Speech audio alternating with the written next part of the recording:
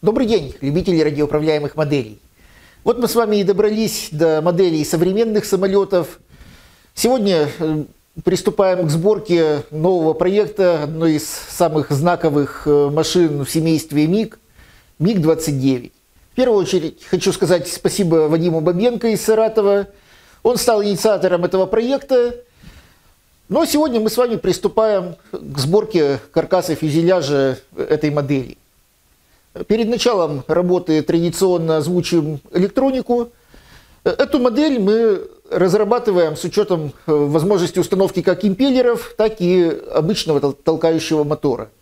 Импеллеры здесь будут применяться 50-миллиметровые, две, штуч, две штуки. Соответственно, на каждый импеллер нужно будет 40-амперный регулятор для надежности. Сами импеллеры лучше всего брать э, с многолопастными крыльчатками. Они дают больше тяги, хотя, конечно, и более прожорливые. Э, для управления моделью нам понадобится 4 сервомашинки, желательно с металлическим редуктором. Это либо МГ-90, либо их аналоги э, в том же размере, 9-11 грамм. На этой модели мы не будем делать э, рули направления, но зато будет передняя поворачиваемая стойка шасси, на нее в любом случае сервомашинка нам понадобится. Опционально на эту модель будут устанавливаться либо 25-граммовые ретракты для убираемых шасси, либо обычные неубираемые стойки. Для питания э, импеллеров нам понадобится достаточно хорошая батарея с высокой ТК-отдачей, емкостью не менее 2200 мА. Вообще с аккумулятором будем э, экспериментировать, э, за счет аккумулятора будем подбирать центровку – Батарейный отсек закладывается с таким расчетом, чтобы можно было поставить аккумулятор от 2200 до 4,5 и даже 5 ампер-часов.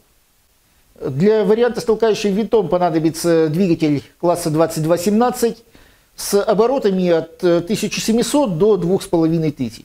Регуляторы под эти моторы также понадобятся от 50 ампер, так как высокооборотные моторы прожорливые.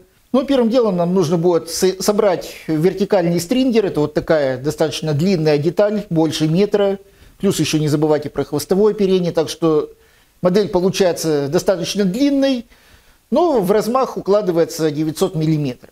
Промазываем стыки клеем, детали соединяем. Эта модель уже достаточно серьезная, деталей здесь много, шпангоутов 21 штука только на верхней части фюзеляжа. Поэтому после разборки нарезки обязательно разложите все детали по порядочку, стопочкой друг за другом, чтобы вы гарантированно не перепутали, что куда ставить. Номерами разворачиваем к себе и при установке шпангоуты все берем с одной половины вот этой пачки. Ну и ставим детали по порядку. Аналогично следующую деталь. Так далее. Все, все элементы по порядочку. При установке будьте внимательны, не путайте детали. Ну а сейчас аккуратно разворачиваем эту заготовку, вертикально ставим и вклеиваем э, оставшиеся шпангоуты. Аккуратно промазываем клеем и затем на верхний шип как бы застегиваем Аналогично ставим спарку из 9 и 10 шпангоутов. Низ проконтролируйте тоже, чтобы встал вровень с вырезом. Сейчас на этом этапе собираем э, корпус батарейного отсека. Первым делом вклеиваем площадку. Ставится эта площадка достаточно свободно. Теперь вклеиваем стенки батарейного отсека. Заводим шипы. Плотно прижимаем края к шпангоутам. Вторую стеночку аналогично. Устанавливаем оставшиеся два шпангоута, низ поставили, фиксируем шпангоут в вырезах на стенках батарейного отсека. И чтобы шпангоуты не расходились, так их стягиваем скотчем до просушки клея. Ну и сейчас нам нужно будет установить хотя бы один из стрингеров. Начать советую с верхнего, он более узкий, ставить его удобнее. Вообще стрингеры здесь большие, особенно нижний. Так что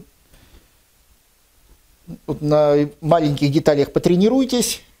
Аккуратно задвигаем стрингер на место, плотно доводим до вертикальной пластины, обязательно подожмите. Теперь устанавливаем 20 э, шпангоут на заднюю часть нижнего стрингера. Вот обратите внимание, какая у нее ширина получается. Промазываем шпангоут. И устанавливаем также лицевой стороной назад, ближе к короткому краю. Вот в этот вырез. Совместили, подровняли по краю. И сейчас этот кусок стрингера вместе со шпангоутом ставим на место. Самое главное, не прикладываем никаких усилий. Детали должны идти свободно. Если где-то запинаются, упираются, лучше посмотрите. Ну и теперь э, раскрепляем окончательно эту половину фюзеляжа при помощи вот такой широкой детали нижнего стрингера. Промазываем также клеем. Но здесь нужно работать пошустрее, чтобы клей не успел пересохнуть. Тут, как говорится, поспешай не торопясь. С одной стороны, нельзя засушить клей, а с другой стороны, нужно каждый участок, каждое место стыка контролировать. Саживаем постепенно, буквально по несколько миллиметров. Вот, нигде щелей нет. Ну и одна половинка у нас уже на что-то начинает походить, согласитесь. Как видите, работы много, поэтому вторую половину мы с вами продолжим в следующей части. Ну а на сегодня пока оставим этот сегмент каркаса на просушку. И в следующий раз уже собирать будет проще, так как детали не болтаются, не шевелятся, и можно будет работать спокойно. Сейчас на канал YouTube уходят только короткие нарезки по основным моментам сборки модели – если вам требуется посмотреть более подробную версию, сделать это можно в Центре развития моделизма. Ссылочка будет в подсказках. Переходите, регистрируйтесь, смотрите подробные пошаговые видеоуроки и собирайте модели вместе с нами. А на сегодня я с вами прощаюсь. Ставьте лайки, подписывайтесь на канал. Не забывайте про наши группы в социальных сетях. ВКонтакте самая активная группа. Э, также для вас работает форум. Э, есть интернет-магазин, где можно приобрести как готовые модели, так и комплектующие для них – ну и, конечно же, Центр развития моделизма, место, где собирается вся информация от самых азов и до сборки вот таких сложных, но интересных аппаратов. Все проекты с подробными пошаговыми видеоуроками, вся информация рассортирована, искать ее удобно. В общем, сделано все, чтобы вы спокойно и безболезненно вошли в наше хобби и занимались любимым делом. Будьте с нами, смотрите нас. До свидания.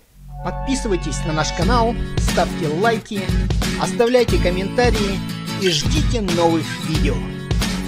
До встречи! Играем по-взрослому!